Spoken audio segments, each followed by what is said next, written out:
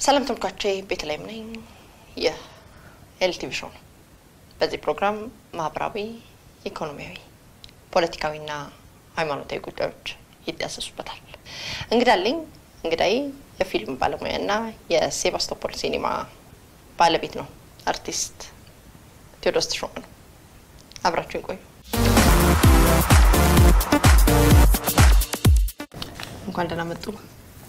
እንኳን ደህና ቆየሽ። በጣም አመሰግናለሁ እንግዳይ ሆነው ስለመጡ። አንተ በይ። አንተ ልበል። እሺ አመሰግናለሁ። እሺ አንተ እያልኩ እቀጥላለሁ። በጣም ቆይቻለሁ። ስልክን መደወል ከጀመርኩ ስልክህ አይሰራም። ቀይረሃል? አዎ ቀይሬያለሁ። አ፣ ምን ነው? ትንሽ በዛብኝ አንዳንድ ማልፈልገው ጉዳይና የግድ መቀየር ነበረብኝ። ስለዚህ ቀየርኩት። አንዳንድ ጉዳይ በነገራችን ላይ በማድነቅ እንጀምር። ብዙ- ብዙ ብዙ ጥያቄዎች የ interview ጥያቄዎች reject አድርጌ ነበር፣ በተለይ ሰሞኑን የተካሄዱ ባሉ ነገሮች እና ያንቺን show ዎች ደግሞ አያቸው ነበረ። ስለዚህ unbiased የሆነ በጣም daring የግል አጀንዳ የሌለው ስራን ብቻ ላይ አተኩሮ የሚሰራ ሆኖ ነው ያገኘሁት። interview ዎችሽን በጣም daring ናቸው፣ ይሉኝታ የላቸውም። ስለዚህ ሳላንገራግር ነው እሺ ያልኩሽ ደስ ስላለኝ እና ቀድሜ ያከብርሽ ስለነበረ እና show ውም ጥሩ ነው እንዳይቆም ይቀጥል። በጣም አመሰግናለሁ። ልክ ነው። ሳታንገራግር ነው የተቀበልከኝ። ለእኔ ብዙ ስላላስለፋኝ በጣም አመሰግናለሁ። ስልክ ለምን እንደቀየርክ ምን እንደተፈጠረ ንገረኝ። ስልክ የሚያስቀይር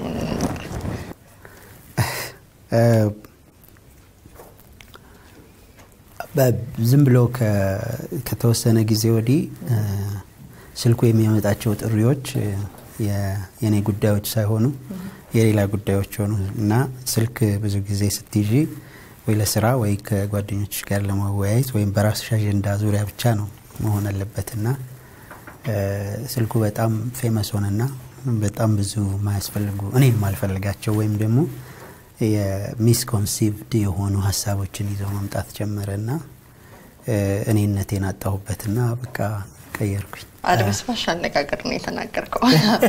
ለምን ቀየርክ? በቀጥታ ምንድን ነው የተፈጠረው? ስልክ ምን ረበሽ? ማስፈራሪያ የደረሰብህ ዛቻ ደረሰብህ? or ሰለቸህ? ሁለት ችግር ነው ያለው። አንዱ ከዚህ ከሲኒማ ቤት ጋር ተያይዞ ትክክለኛ ሰዎች የራሳቸውን ራይት ለመጠየቅ የሚደውሉበት ነው። እኔ ምላሽ በቂ ምላሽ ስለሌለኝ ላግዛቸው ስላልቻልኩኝ ነው አንዱ። ዋናው ግን በጣም የከበደኝ አብዛኛው ስልክ ከአማላጅነት ጋር ተያይዞ የሚመጣ ስልክ ነው። እንዲያስደርግልኝ እንዲያደርግልኝ እንዲ ከሌና አነጋግርልኝ እንደዚህ የሚሉ ስልኮች ናቸውና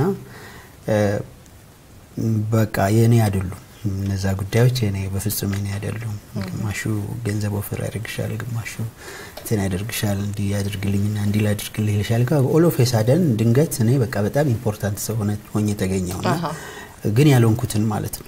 ግን የፍጹም በቃ አየር ላይ የሆነ ነገር ነው እና እኔ ላደርግ የማልችለው ነው። ሰዎችን በዚህ መልኩ ላስተናግድ አልችልም እና በዚህ ምክንያት በቃ ስልኩን ዘጋሁት። ቀይ ስህተት ወደ ተባለው ፊልም እንሂድ።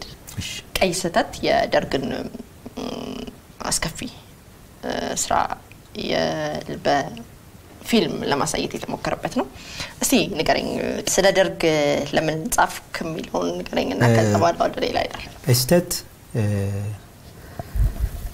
በደርግ ጊዜና በዘጠና ሰባት ላይ ነው ያተኮረው። ሁለቱም የደርግ ጊዜ ነው። በ6971 የነበረውን የቀይ ሽብር እ፣ ጭፍጨፋና በ77 ደግሞ የነበረውን የረሃብ ጊዜ ሁለቱን ነው አተኩሮ የተሰራው። በ77ም በእኔ እምነት በነበረኝ መረጃ ልጅ ነኝ ያኔ፣ ግን በ77ም ቢሆን ኢትዮጵያ አልተራበችም። የነበረው ችግር የ infrastructure እና የ good governance ነው እንጂ የእህል ችግር አልነበርም። የሆነ ቦታ እህል የለም፣ የሆነ ቦታ ግን እህል አለ። ስለዚህ ያለውን አብቃቅቶ ህዝቡን ማስተዳደር ሲቻል የተፈጠረውን ረሃብ እንደ እንደ መነገጃ ነው የተጠቀሙበት፣ እንደ እርዳታ መሰባሰቢያ ለጦር መሳሪያቸው መግዣ ነው የተጠቀሙበት። ስለዚህ ያንን እውነታ በማሳየት የአሁኖቹ መሪዎቻችን ከዚህ እንዲማሩ፣ ህዝቦቻችን እንዲጠነቀቁ በስሜታዊነት ከሚደረጉ ከሚገቡባቸው እና በስሜታዊነትና ያለ እውቀት ከሚገባበት የፖለቲካ ግርግር ራሳቸውን እንዲያርቁ ለማስጠንቀቅ ነበር የሰራው። ከዚሁ ጋር የይዤ ሌላ ጥያቄ አነሳለሁ። ጥያቄ ምንድን ነው? ጥሩ ነው ደርግ ጨፍጫፊ ነው ብሎ ማሰብ፣ ነገር ግን ከዛ በኋላ የመጣው መንግስት ምን ሲሰራ ነበረ? እሱንስ በቀጥታ ለምን አልተቸውም? ከህወሀት ጋር ጋብቻ ስለነበረ ነው እንጂ የሚለውን እንዴት ትመልሷል? አንድ ድርሰት ስትሰሪ የምትሰሪው የታሪክ ፍሬም ያግድሻል። የኔ ፊልም የሚያልቀው 83 ዓመተ ምህረት ላይ የሚያልቀው ልክ 83 ዓመተ ምህረት ላይ ሲያልቅ በዛ ጊዜ የህዝቡ ስሜት ሊሆን የሚችለው የአሁኖቹ ምን ሊያደርጉን መጡ ነው እንጂ ከዛ ያለፈ ለመተቸት የሚያስችል ቀዳዳ አልነበረኝም። ልክ ፊልሙ የሚያልቀው 1983 አሁን ሀገሪቷን ይመሩ የነበሩ እስከ ቅርብ ጊዜ ድረስ እነሱ ሲገቡ ፊልሙ ያልቃል። ከዛ በኋላ ስላለው ነገር ለማውራት የሚያስችል የ script frame የለኝም። እንደዛም ሆኖ ግን ሳልተች አልቀረሁም። ለምሳሌ አትነሳም ወይ አትነሳም ወይ ይሄ ባንዲራ ያንተ አይደለም ወይ መዝሙሩ ለቀይ ሽብር በኢህአፓዎች የተዘመረ መዝሙር አይደለም። ከዛ በፊት በነበረ የፖለቲካ አመፅ የተዘመረ መዝሙር ነው። ቀይ ስህተት ላይ ልጁ ምስማር ይወጋበታል። ምስማር ይወጋበታል። ምኖረው ኢትዮጵያ ውስጥ ነው። አስቢ፣ ምሰራው ኢትዮጵያ ውስጥ ነው፣ ውጭ ሀገር አይደለም። ለማንኛውም ልጁን ምስማር ሲወጋበት ይዟት ይዞት ልጁን ሆስፒታል ውስጥ ይገባል እና ዶክተር ልጄ ሊሞትብኝ ነው ምናምን ይላል። ምስማር ነው የወጋበት እና ልጁን ታይና ምስማሩን ደሙን ትጠራርግና ማሙሽ የዛገ ምስማር ነው የወጋ ትለዋለች። የዛገ ምንድን ነው ይላታል። ሲላት አሮጌ ምስማር ነው ወይ የወጋ ትለዋለች። አይ አዲስ ምስማር ነው የወጋኝ ይላታል። እሽ ትልና ታጸዳለታለች። ከዛ በላይ መናገር አልችልም። የምኖረው ኢትዮጵያ ውስጥ ነው። እየወጋ ነው ያለው። እያወራሁት ያለሁት ስለ ደርግ አይደለም። እያወራ ያለሁት ስለ አሁን እየሆነ ስላለው ነገር ነው። ሰዎች እየሞቱ ነው። በአዲሱ ምስማር እየተወጋን ነው ማለት ነው። ከዛ በላይ ማውራት ግን እኔ በነበርኩበት በዛ ጊዜ አይቻልም። unless ትቼ ካልተሰደድኩኝ በስተቀር which I don't want ብትሰደድ አይሻልህም ወይ? ምክንያቱም ጥበብን አልገደልክም ወይ? ለምን በዛ ሁኔታ በጥበብ ሰዎች በሚሰደዱበት ሁኔታ በሚጨቆኑበት ሰዓት አንተ በጣም ባለ ሲኒማ ቤት ባለ ብዙ ሚሊዮን ገንዘብና ቆንጆ መኪና ምትነዳ፣ ስለዚህ ይሄ ጋብቻ ሳይሆን ሳይኖር እንዴት ሊሳካል ቻለ? ጥበብ በጣም በሚገፋበት በኢህአዴግ ጊዜ አንደኛው ጥያቄ ነው። ሁለተኛ ደግሞ ጥበብን እንደዛ ከምታደርገው ደርግን ብቻ ወቅሰህ ወያኔን ከምትሰው ወይም ኢህአዴግን ችላ ብለህ በአንዲት ሚስማር ብቻ ከምታልፈው ከሀገር ብሰደድ አይሻልም? No as a film maker ወቀሳና ምስጋና አይደለም የተያዘው። as a film maker አንድ story ተጻፈ። ገብቶሻል አይደለ? ያ ይሄ story የተጻፈው የዘጠና ሰባቱ ግርግር ከመጀመሩ በፊት ነው። ስለዚህ ከሌለ መውቀስ ከሌለ ከዘጠና ሰባት በኋላ ነው ኢህአዴግ ጨቋኝ ነው ብለህ ያሰብከው አንተ? እኔ ከዛ በፊት film maker ነኝ። ጨቋኝ ነው አይደለም ማቀው ነገር የለም። ምንም ብዙ ፖለቲካ ውስጥ involved አይደለሁም። ፖለቲከኛ ለመሆን ማወቅ ያስፈልጋል። እኔ ፖለቲከኛ ኢህአዴግ ጨቋኝ ነው ለማለት ፖለቲከኛ መሆን ያስፈልጋል ይመስለኛል። ማወቅ ያስፈልጋል። ለማንኛውም ነገር አስተያየት ለመስጠት ፖለቲክስ ነው። ኢህአዴግ ጨቋኝ ነው ማለትም ፖለቲክስ ነው፣ አይደለም ማለት ፖለቲክስ ነው።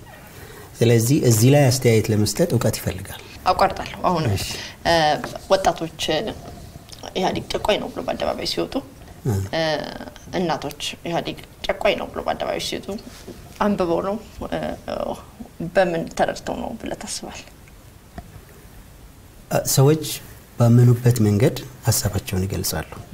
okay አንድ ሰው አንዳንድ ሰው መንገድ ላይ ወጥቶ መፈክር በማሰማት በመጮህ በመቃወም ድንጋይ በመወርወር ሀሳቡን ይገልጻል። ያ ልክ አይደለም የሚል እምነት የለኝም። አንዳንድ ሰዎች ደግሞ በጽሁፍ ሀሳባቸውን ይገልጻሉ።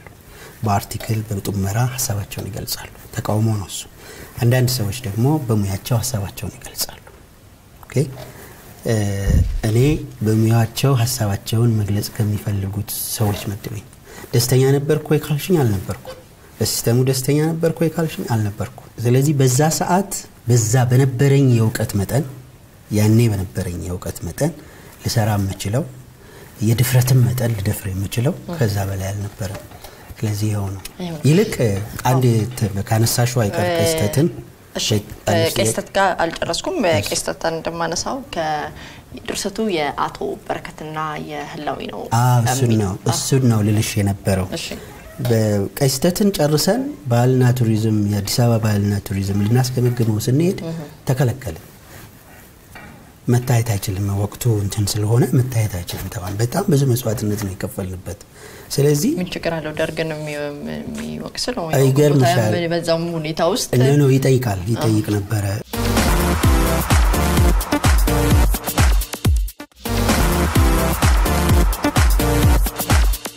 ልክ ፊልሙ ሲያልቅ 83 ላይ አይ አንቺ ምስኪን ሀገር የእስካሁኖቹ እያንኮታኮቱ እዚያ ያደረሱሽ የአሁኖቹ ወዴት ይወስዱሽ ይሆን ብሎ ነው የሚያልቀው።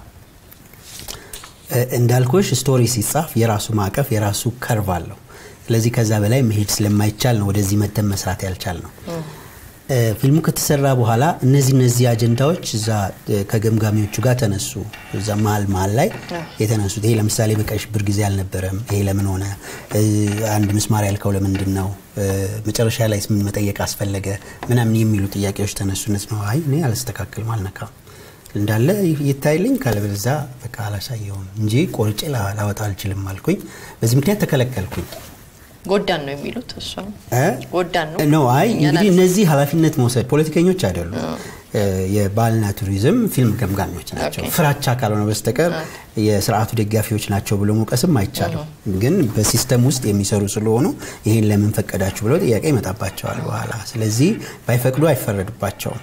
ሰው ቀጥሎ የነበረው ነገር ምን ይሻላል ነው። ፊልሙ ላይ የነበረው ሸዋፈራው ነው አንዱ ተዋናይ እና ኧረ ምን ይሻላል ይሄ ነገር ልንከለከል ነው ስለው ኑ እኔ አቶ ላዩን አውቀዋለሁ እሱ ጋር እንሄዳለን። እኔ አቶ ላዩን ከዛ በፊት አላውቀውም። ከዛ ተያይዘን ማዘጋጃ ቤት ምክትል ከንቲባ ነበር። ሄድን ሄድን እንደዚህ እንደዚህ ፊልም ሰርተን ልንከለከል ነው እና እዩልንና ፍቀዱልን ብለን ጠየቅን። ከዛ እስቲ ፊልሙን አምጡት ተባል። ይሻል የት እናምጣው ስንል አራት ኪሎ የኢህአዴግ ጽሕፈት ቤት ምናምን ምናምን እሺ ብለን ፈረንጁንም ይዤ ገና edit እያደረገ ነው ከነ ኮምፒውተሬ ይዤው ሄድኩኝ ማለት ነው። እኔ ለህላዊ ላሳይ ነው። ከዛ ፊልሙ አቶ ላይ ቁጭ አለ። ፊልሙ ልከፍት ልንከፍት እየተዘገጃጀን ኃይለማርያም መጣ። ደነገጥኩኝ። ያኔ ብዙም እንትን አልነበረው። ጠቅላይ ሚኒስትሩ ናቸው። ጠቅላይ ሚኒስትር ኃይለማርያም መጡ። ከዛ ትንሽ ቆዩና አቶ አባይ ጸሐዬ መጡ። ደነገጥኩኝ። ከዛ አቶ በረከት መጣ። ፊልሙ ከመከፈቱ በፊት አንዴ ባካቸው ይቅርታ ሽንት ቤት ደርሼ ልምጣ ብዬ ጠየኳቸው። ሄድኩኝ ሽንት ቤት፣ በሩን ዘጋው። ሚስቴ ጋር ደወልኩ። የኔ ቆንጆ አሁን ያለሁት እንደዚህ አይነት ቦታ ነው። መሪዎቹ መጥተዋል እና ከጠፋው ታስሬ ያለው ማለት ነው። ደነገጠች። አይዞሽ ችግር የለም በቃ ለማንኛውም እንዳታስቢ ነው የት እንደነበርኩ መጨረሻ ላይ እንድታቂ ነው ብዬ ደወልኩላት። ከዛ ደግሞ ሌላ ወዳጄ ጋር ደወልኩኝ እና ልጆቼን አደራ፣ በጣም ፊልሙ ሴንሲቲቭ ነው። ስለዚህ በዛ ሰዓት ደግሞ ያስፈራል እና ልጆቼን አደራ፣ ምናልባት እዚህ አይነት ቦታ ነው ያለሁት ብዬ ለሱም ነገርኩት። ደነገጠ። ከዛ ተረጋግቼ ተመልሼ አልኩኝ። ፊልሙ ተከፈተ። ፊልሙ አንድ ሰዓት ተኩል ነው። ፊልሙ እስኪያልቅ ድረስ እኔ ፊልሙን አይደለም የእነሱን ፊት ነበረ ማየው እንደዚህ። ከዛ ፊልሙ አለቀ። ምን ነበር? የተከፋፈለ ስሜት ነበር። አንዳቸው ተነሱና ይሄንን ቁረጠው አሉ። በተለይ መጨረሻ ላይ ለምን ወዴት ይወስዱሽ ይሆን የሚለው ምን ያስፈልጋል ምናምን አሉ። ሌላኛው ደገፏቸው። ከዛ አይ ከተፈቀደ ይፈቀድለት፣ በቃ track record ኣችን ይመሰክራል ምናምን የሚል ተወያዩና ተፈቀደልኝ ማለት ነው። ከዛ በፊትም አላቃቸውም እነዚህ ሰዎች፣ ከዛ በኋላም አላቃቸው። ሌላው ችግር የተፈጠረው ምርቃቱ ነው። በቃ ፊልሙ ተፈቀደ፣ አለቀ። ያኔ ነው ያየዋቸው። እኔ ስለ ስክሪፕቱም የሚያውቁት ነገር የለም፣ ፊልሙንም ከዛ በኋላ ምን ይሆን ምን የሚያውቁት ነገር የለም። ስለዚህ ድርሰት ምናምን የሚባለው ፈጠራ ነው። ከወጣን በኋላ ግን እኔ ነጋዴ ነኝ። በተቻለ መጠን ፊልሜ ሩቅ ቦታ እንዲደርስ እፈልጋለሁ። ከቤልጅየም አምባሳደር ጋር በምን አጋጣሚ ተገናኝተናል። ያ ልጅ ሰው ሲገደል አይቶ ደንግጦ ኤምባሲ ስለገባ ከእሱ ጋር ከአምባሳደሩ ጋር የመተዋወቅ እድሉ ነበረኝ።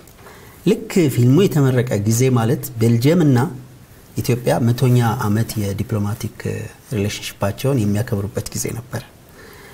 ስለዚህ ነው የምንመጣልኝ ለምን ስፖንሰር አድርገኸኝ ለምን አታስመርቀውም ፊልሙን? ከዛ የዚህ የ diplomatic relationship ኡ celebration አካል አድርገው እና ምንድን ነው የምትፈልገው አንተ አለኝ። እኔ ምንም አልፈልግም፣ ግን international community ውን አምጣልኝ፣ ጋብዝልኝ። ስለዚህ የኢትዮጵያን የፊልም ኢንዱስትሪ promote አድርጋለሁ። በኤምባሲዎች ሲጋበዙ፣ አምባሳደሮች ሲጋበዙ የኢትዮጵያን የፊልም ኢንዱስትሪ promote አድርጋለሁ። ክፍያ አትፈልግም? አልፈልግም። እኔ የምፈልገው ይሄንን ወጪውን ከቻልከኝ የምርቃቱን ከዛ በላይ አልፈልግም አልኩኝ። ከዛ እሺ አለ። ተስማማን፣ ስምምነት አደረግን። ከዛ ስድስት መቶ ሰው ቤልጅየም ኤምባሲ ጠራ። አራት መቶ ነው የጠራው። ጠራው ከቤልጅየም አምባሳደር ጋር ቆመን እንግዳ እንቀበላለን። ስንቀበል የክብር እንግዳው ስዩም መስፍን የውጭ ጉዳይ ሚኒስትር። አብሬ ነው የደነገጥኩት። እውነት ለመናገር ደስ ብሎኛል። ምክንያቱም በዛ ሰዓት የነበረኝ ስሜት ፊልሜ ምን ያህል high profile እንደሄደ እንጂ ከዛ በጀርባ ያለውን ነገር ብዙም አላሰብኩበትም። ከዛ ሲመጡ ባለስልጣናት ሲመጡ ባለስልጣናት ሲመጡ በቃ መለስ ብቻ ነው ያልነበረው። በዛ ሰዓት ግን የጋበዝኳቸውን አይደለም፣ ቤልጅየም ኤምባሲ ነው የመቶኛ ዓመቱን የ diplomatic relationship celebrate ለማድረግ ማለት ነው። ከዛ ጋባዦቹን እኔና የቤልጅየም አምባሳደር ነን ቆመን ህዝብ ስናስተናግድ የነበር ነው። ስለዚህ እንግዲህ የውጭ ግንኙነት ስለሆነ አክብረው ስለመጡ ቤልጅየም ኤምባሲና እነሱ ይመሰጋገኑ። እውነቱ ግን ይሄ ከዚህ በሲኒማ ቤት ጋር በተገናኘ በፊልም ክፍያዎች ምክንያት በተደጋጋሚ ስም ይነሳል። ያንተ ስም ሲኒማ ቤቱ ያንተ ስም በእርግጥ ማኔጀሩ ያንተ ነው፣ ግን በተደጋጋሚ ያንተ ሲኒማ ቤት ሴባስቶፖል ሲኒማ ከክፍያ ጋር በተገናኘ ስሙ ይነሳል። ምንድነው ችግሩ? ችግሩ አገራዊ ነው። ከ2003 ጀምሮ እስከ 2006 ድረስ በጣም ጥሩ ነበር። በጣም በቃ ጥሩ ነበር። ልክ 2006 መጨረሻ አካባቢ ኢንዱስትሪው መቀዝቀዝ ጀመረ። ኢንዱስትሪው እንደ ኢንዱስትሪ መቀዝቀዝ ጀመረ። ከዛ ሌላ የቴሌቪዥን entertainment ኦች እየጨመሩ መጡ። ሰው በአንድ ቴሌቪዥን ብቻ መሳብ ይፈልጋል። ውሸት ነው። ሁሉም የቴሌቪዥን ፕሮግራሞች ጥሩ ሆኑ። anyway ወደ ጥያቄዎች ልመለስና ጥያቄ ከክፍያ ጋር ከክፍያ ጋር ልክ 2006 ላይ ኮንትራታችን አለቀ። ኮንትራታችን ሲያልቅ ደነገጥን። የምናሳይበት ቦታ የለን። በዚህ ክርክር ላይ ያለን ደግሞ ክስ መጣብን። አንድ የባለጊዜ ዘመድ ከሰሰችን። ሌላ ሲኒማ ቤት ከፈተች። የባለጊዜ ዘመድ ማለት የኢህአዴግ ዘመድ አንቺ በይው እኔ ስለምፈራ አሁንም አለ እና እና ከሰሰችን። ከሰሰችን ስልሽ እሷ አይደለችም የከሰሰችን፣ ለእሷ አግዞ የመንግስት ቢሮ ከሰሰን። ከሰሰንና በድርጅታችን እንዲዘጋ ንግድ ፍቃዳችን እንዲቀማ እና በሚዲያ ይቅርታ እንድንጠይቅ የተከሰስንበት አንቀጽ የንግድ የበላይነትን መያዝ የያዙትን የበላይነት በመጠቀም ለመደራደር ፈቃደኛ ባለመሆን በሚል አንቀጽ ነው የተከሰስ ነው። ተከሰስን። ደነገጥኩኝ። ስለዚህ ንግድ ድርጅታ መንግስት ነው የከሰሰን። መንግስት ከከሰሰን እንሸነፋለን። ስለዚህ ሲኒማ ቤታችንን ልንቀማ ነው። በጣም ደነገጥን እና በጣም በስሜታዊነት ሌላ ሲኒማ ቤት ተከራየን። በወር 287 ሺህ ብር የመጀመሪያው ስህተት ላፍቶ ሞል ማለት ነው። ከዛ ደግሞ ቤቴን አስይዤ ተበድሬ ያለኝን asset ሸጬ ወደ ባንክ እስካሁን 32 ሚሊዮን ብር አለብኝ ሊከፈል ያልቻለ ምናልባት ከሁለት ከሶስት ወር በኋላ የአርቲስት ቴድሮስ ተሾመ ቤት ብድራቸውን መክፈል ስላልቻሉ ጨረታ ምናምን የሚል ነገር ልታይ ትችላለች። ወጣ so እነዚህ ሲኒማ ቤቶች የተከራየናቸው ሲኒማ ቤቶች ተከራይተን ነው ኢንቨስትመንቱ በሙሉ ሲኒማ ቤቱን ለመክፈት ነው። አምስት ሲኒማ ቤት ከፈት። ይሄ የሆነው ኢንዱስትሪው survive እንዲያደርግ እንጂ እንትን ለማለትም አይደለም፣ ሰዎች ለመጉዳትም አይደለም። ግን unfortunately የሀገሪቱ ግርግር ተነሳ፣ የሲኒማው ኢንዱስትሪ ቀነሰ፣ የቴሌቪዥን መዝናኛዎች በብዙ ምክንያቶች ገበያው ቀነሰ። ስለዚህ ገበያው ሲቀንስ ምን ሆነ? ምርጫችን ሲኒማ ቤቶችን መዝጋት ወይም ማስቀጠል ነው። ለማስቀጠል ኪራዩን መክፈል አንችልም። ከዘጋን የሁላችንም ህዝብ አብሮ ይዘጋል። የባለፊልሞችም የእኛም የሁላችንም አዘ ፊልም ሜከር የኔም ህልም ይዘጋል። ስለዚህ እኔ በጊዜው ልክ ነው ልክ አይደለም ሌላ ነገር ነው። እኔ በጊዜው ወሰንኩት ግን የኪራዩንና የሰራተኞችን ደሞዝ ከፍለን የባለፊልሞችን እዳ ማንከባለል። ስለዚህ መስዋዕትነቱን በጋራ እንከፍላለን። ባለፊልሙም ሲኒማ ቤቱ ተዘግቶ የሚያሳይበት ቦታ አጥቶ ፍራንክ ሳይኖረው ከሚቀር ቢያንስ እኔ ጋር አድሮ ቆይቶ ቢከፈለው ይሻላል የሚል ውሳኔ Thank you